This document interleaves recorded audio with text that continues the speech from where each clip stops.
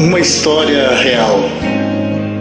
Uma senhora analfabeta foi ao médico e depois de realizar alguns exames, o médico lhe disse: A senhora é evangélica, não é? Ela respondeu: Doutor, eu sou de Jesus. Sim. O médico disse: Eu gosto muito dos cristãos, só tenho um problema.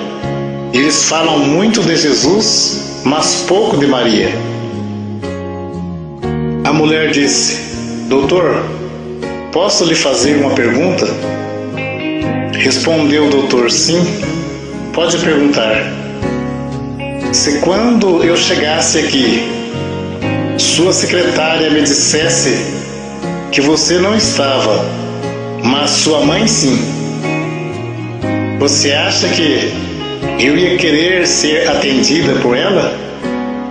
O médico disse: Claro que não.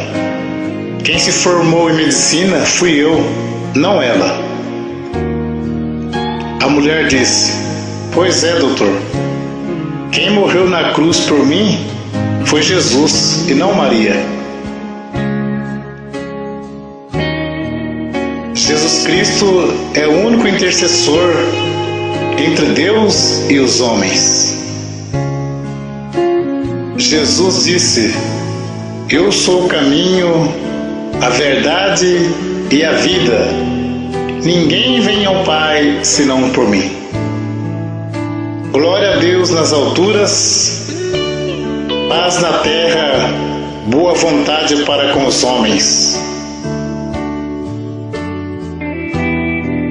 Toda honra e toda glória seja dada ao único e verdadeiro Deus que vive e que reina de eternidade em eternidade. Amém.